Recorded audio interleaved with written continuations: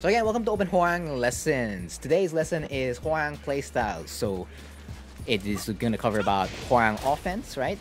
Going in into your opponent. Hwoarang neutral, you know, staying in this type of area. And then Hwoarang defense, being farther from your opponent and looking for uh, mistakes, really. Actually, no, before we even get into that. Here are the things I'm going to be looking for. Looking for. Like, here's my criteria in regards to how I'm looking at these playstyles. So I have four, four, four things, right? So number one is information gathering. How does that playstyle gather information? And how does it use that information to get to its objective, right? Number two is flamingo usage. Is that playstyle leaning towards heavy flamingo usage or moderate flamingo usage, right? Third is punishment conversion. So of course, if you block something that's unsafe, let's say negative 13, negative 14, something that isn't launchable, how do you what kind of punishment are you giving your opponent to get to the objective you need to do? Because there are some punishers that don't yield as much result results right? Or frames or damage but they do give something else right? So it's just a question of what punishments they prefer. And then number four is common moves. Like this Hwoarang would more often than not this playstyle would use this type of move more often than let's say another playstyle right? So those are the four things i'm looking for when analyzing or generalizing the three types of Hwoarang playstyles, which is again offense, neutral, and defense. And we're gonna start off right off the gate with offense. So, offense is naturally, as it implies, getting into your opponent and getting damage and putting them in these, you know, mix up after mix up after mix up, which is exactly what Hwoarang wants, and he'll get the chip off down 3 4 or any other move. And of course, if a counter hit comes in, guaranteed RFF 2 back 4. Or any other scenario like counter hit forward 1 plus 2. So it's a very mix up heavy. Offense is very mix up heavy. You're always going to be in your opponent's face non stop. And of course, how does it gather information? We're going to start with number one. How does it gather information? So again, if offense is mix up based, it's gathering its information through mix ups. What do I mean by that? Let's cover one of the very classic scenarios for Hwoarang, which is LFS1 into forward 1 plus 2, the classic cheese. So again, this is plus 5 into forward 1 plus 2, which is again 15 frames. If you do the math, that's 15 minus 5, and that makes it a 10 frame move. Of course, again, this move is steppable in this scenario. But if they press a button, right, if they press a button, you're going to lose big time. So, in an offensive style, you will be running this immediately. Like the moment you get LFS1, you're going straight up to check if they're pressing a button because you want to you want to get the big reward, right? You want to get this juicy, juicy launcher into really, really good damage, which uh, caps out around 71, right? For for all characters. So you, that's typically what this playstyle wants to be doing. Of course, it puts you at a disadvantage. As you can see, you're negative 9 immediately. So that's why it's kind of like a risk, even if it is a mix-up based information gathering. But with this, like the moment you know they're blocking mid, like let's say it happens two to three times, immediately what you're going to be doing is pressing right after forward 1 plus 2, or not even changing forward 1 plus 2. Like you, you remove forward 1 plus 2 and then you go straight to down 3 4. Like you're making sure you're getting the big mix-ups immediately. You're not doing you're not doing small mix-ups at all. None. You're not gonna do small mix-ups. That's like for another playstyle. So you're going for big mix-ups immediately, like every single time. So you're focusing on your opponent's reactions to the mix-ups. Like, do they know this thing? Do they know X thing? Do they know Y thing? Do they know Z thing, right? How did they stop X option, Y option, Z option, so on and so forth? Like, what option do I run next? It's always like that in, in regards to Hwoarang uh, offense, right? So that's for information gathering, right? Now, of course, as being an offensive heavy Hwoarang, you're going to be putting your opponent in Flamingo situations a lot and doing, you know, crazy stuff like this, you know. Stuff you typically wouldn't see uh, other Hwoarangs doing if they're not like super, super offensive. So high flamingo usage that comes like moves like CD, this one. There is risk to this, right? Because even if it is plus four, there is a lot of distance between you and your opponent, so they can step right and punish you easily. However, it's an offensive Hwoarang wouldn't mind that, so they'll look at that option and be like, okay, going again going back to the information gathering portion they're gonna straight up back three immediately, LFS back three to catch you. And if the, the moment you show that you're gonna block that, they're gonna change it up so they do that cancel into down three right? Stuff like that. So high flamingo usage is always there. So yeah flamingo forward three, and then if it's like right flamingo, they're gonna go straight into the RFS F4 mix up, which is gonna force you, the opposing opponent against the Hwoarang, the offensive Hwoarang, to down jab or do a generic low or do the specific option that beats most of the options after RFS F4 on block. And they're gonna be catching your timing on when you're gonna down jab or do that high crush with air blade, or they're gonna stand switch and take their turn immediately, and just continue to put you in mix up after mix up after mix up. And it gets more, more and more difficult to guess against this type of Hwoarang because they're throwing it out nonstop. So if you're not prepared for all the Hwoarang stuff, you're gonna be really, really in big danger. Now, of course, punishment conversion. We're at number three. So of course, if classic, right, consensus so far with season four punishment for Hwoarang is that you use 4-3, right? Plus 5, 30 damage is great. And it's stronger than 4F4, which is 27 damage plus 6 at RFF. What uh, an offensive Hwoarang would mainly be doing is entering Flamingo. These Flamingo. So if let's say something recovers standing and it's negative 14 or whatever, and the jabs reach, right? Because there's some moves where your jabs wouldn't reach at negative 14 or negative 13, so you'd have to default to stuff like DF1 plus 2 and a 4 Z plus 4 from time to time. But if you don't have to do that, you're going to be entering this immediately. So again, anything from either of these flamingos on on hit, again, this is plus 11G, you cannot interrupt. Your opponent can never interrupt you. Not unless they're using an evasive move. But even then, even if they use an evasive move, if you use a move that tracks, a lot of the options track at these at these frames, you're going to put them in a world of pain. And something as classic like let's say 1 2 and 2 3 4 LFS 3 4 or 1 2 into RFS D4 that's gonna be an instant counter hit. And you're gonna get loads of damage into more Oki which is gonna be more mix up intensive again and again and again. You're not gonna stop really. So classic offensive Hwoarangs right would be using moves like down 3 4 again because again it follows high flamingo usage. 1 2 3 and 1 2 4 both on hit and on block they're not going to stop. Because again there's options for 1, 2, 3 on block, and of course 1, 2, 4 on block always has RFS F4. And of course if they enter RFF, whether that be from right LFS down back 4 or let's say RFS 2, right? So classic ways to enter RFF. They're going to be doing RFF forward 3 immediately. And of course RFF forward 3 on block is like plus let's just say it's plus a million on block, right? You should just never be challenging any option after RFF forward 3. Not even your evasive move, your rage guard, whatever. You should just never do that. And the classic option is to throw it out with another mix-up layered into it, not something that's like super safe. So maybe, what do you call that? From RFF forward 3 to LFS forward 3. And of course, based on your reactions, they're going to be running the option that they want to run, and if you're not be able to block that option, they're just going to keep running it non-stop. And this is just really, really dangerous, RFF forward 3 because you cannot press at all. So you get counter hit launched if you press a button, if you attempt to, and if you hold your buttons a lot, he's gonna straight up down 3-4 and put himself back in the RFF, and then you're gonna have to meet RFF forward 3 again. So that's a general idea of like the playstyle of an offensive Hwoarang. Let's move on to the next. The next Hwoarang playstyle I'm going to cover is neutral. Neutral Hwoarang playstyle. So that means this range. Of course, again, the position reset change, right? So if the offensive Hwoarang wants to be like right in front of your face or like slightly away, mainly most in, your face, the neutral Hwoarang wants to be sitting around these type of ranges, somewhere they can go in and somewhere they can go out. So they want to keep both uh, options available to them. So they'll be putting themselves in situations like that. So again, we'll start with number one, information gathering. So neutral Hwoarangs are more safe in regards to gathering information. So let's say again, let's take the same classic situation for uh, from the offensive type Hwoarang, which is again LFS one to forward one plus two. This scenario, yes, a neutral Hwoarang might run it, but they're not gonna run it two to three times. They won't. They'll run it once, once or twice. Like the, the usage gets less, and they wouldn't even run forward one plus two from time to time because again, it's negative nine. It is not a punishable punishable move. However, you are surrendering your turn to your opponent basically you are.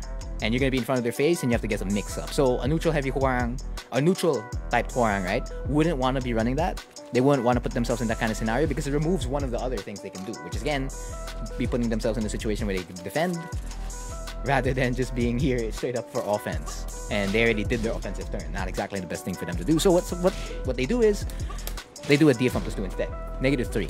This now allows you to be put in that neutral or offensive situation every single time, or a DF1, which is negative 1, and has, you know, pushback. So nat- naturally, you're not going to be following up a lot of stuff. But if your opponent so again, the information, how that situation would go in terms of information gathering is that after LFS1 to DF1 plus 2 or DF1, they're going to be checking what your reaction is. And they're going to confirm that reaction over a course of time. And then they'll throw out something that's also kind of safe, like let's say down back 3 after that, after LFS1. So if you continue to show that you're going to be standing here, they're not going to go. They're not going to go straight to down three four like an offensive Hwoarang. They're going to go straight for something safer like down back three or down back 4, which is negative 12 on block, which is perfect. You really don't want to be putting. And of course, they have the option to, again, enter offense. It's about keeping both things present, offense and defense, from a neutral standpoint. So we talk about Flamingo usage. Number two, they're not as heavy Flamingo users.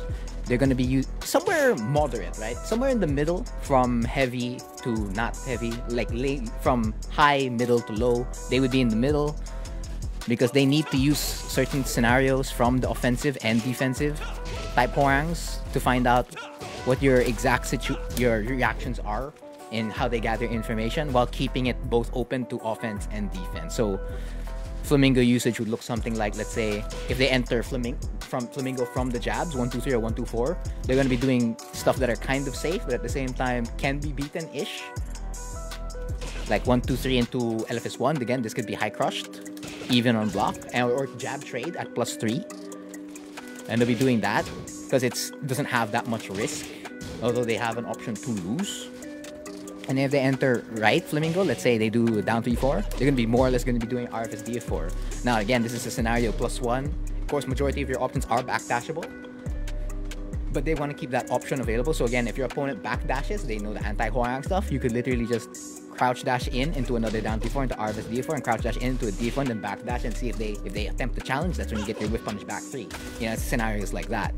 And of course, if you're gonna operate it in a different way, down D4 into RFS D4 on block, you could literally backdash and remain in neutral.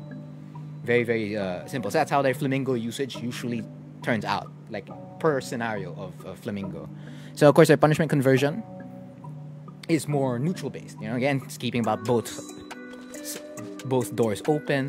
So again, if we go back to again as 4-3 being the general consensus, if offensive Hwoarangs want to be entering Flamingo immediately from these two to put mix up after mix up after mix up, what a neutral heavy Hwoarang is going to be doing, or a neutral playstyle is going to be doing 4-3. 4-3 or 4F4 most of the time. If they ever enter these, it's because they're gathering they're gathering information or they know you're weak towards a certain thing and then they're gonna start moving from their neutral and make it neutral offensive or neutral defensive depending on how you've reacted from again how they're gathering information and adapting it towards uh, their opponent versus you know Hwoarang's Flamingo.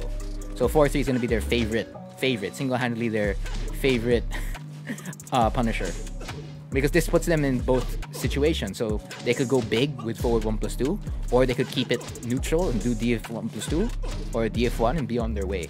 Or 4 3 into wait and to wait for a reaction.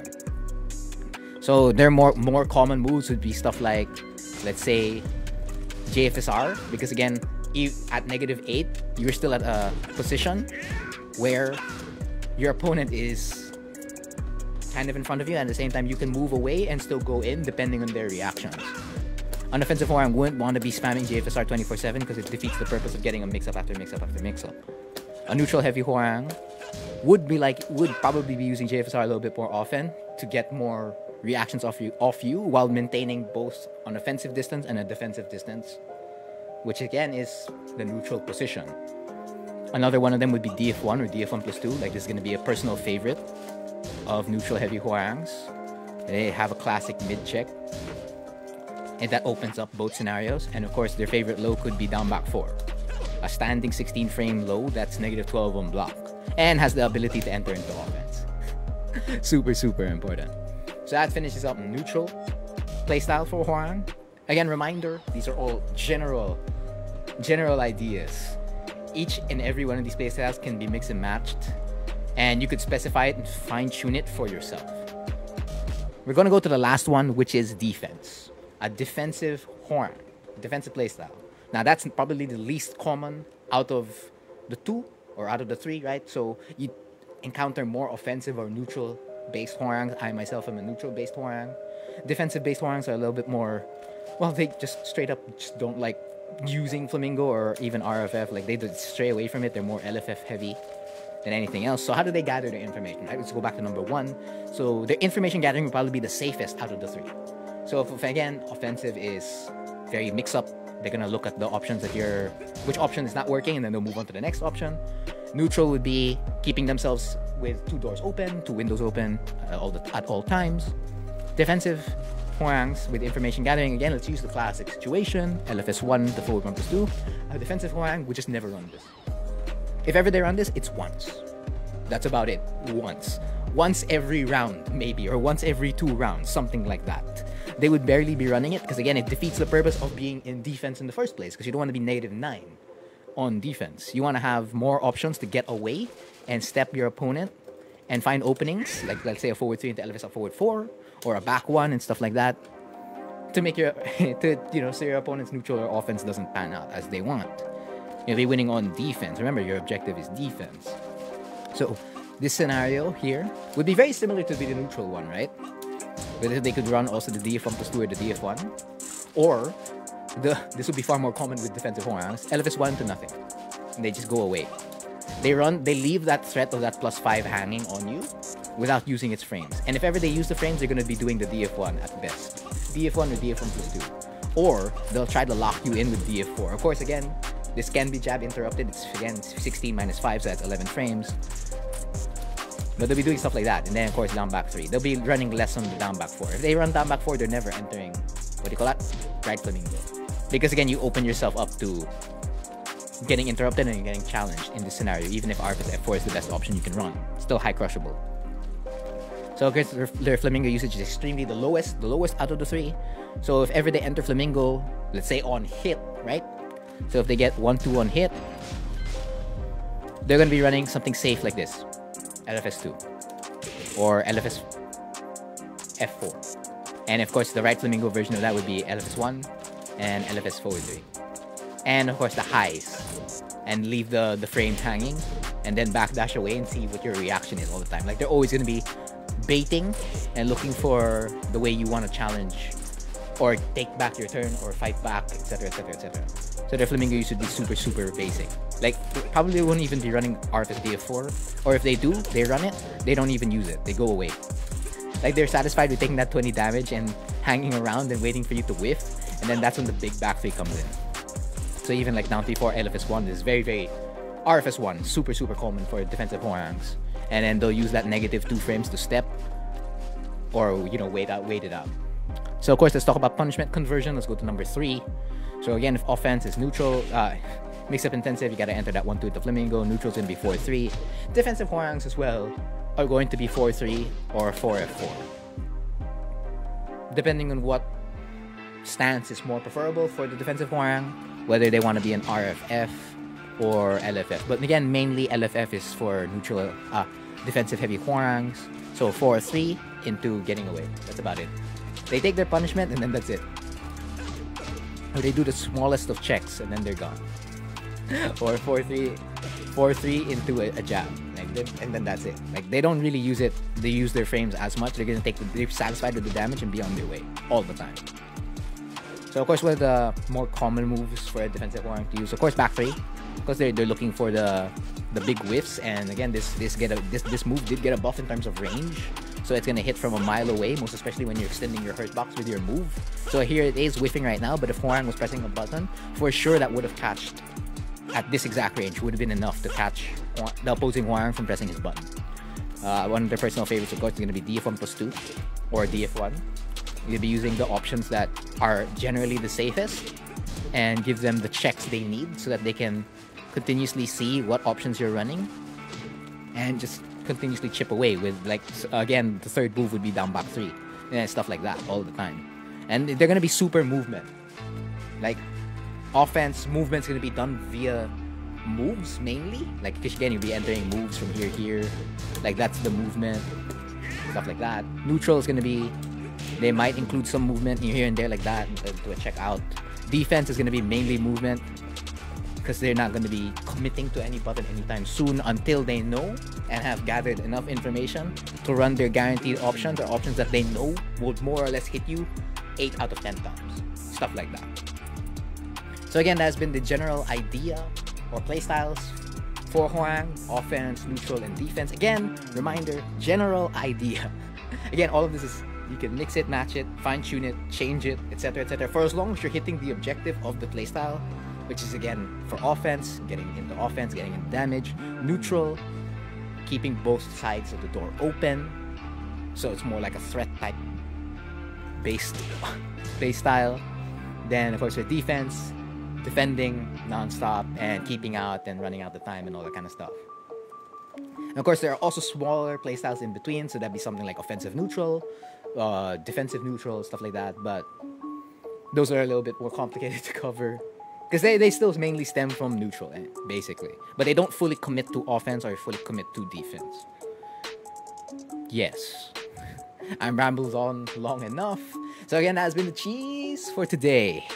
I've been Frontier, and thank you for watching.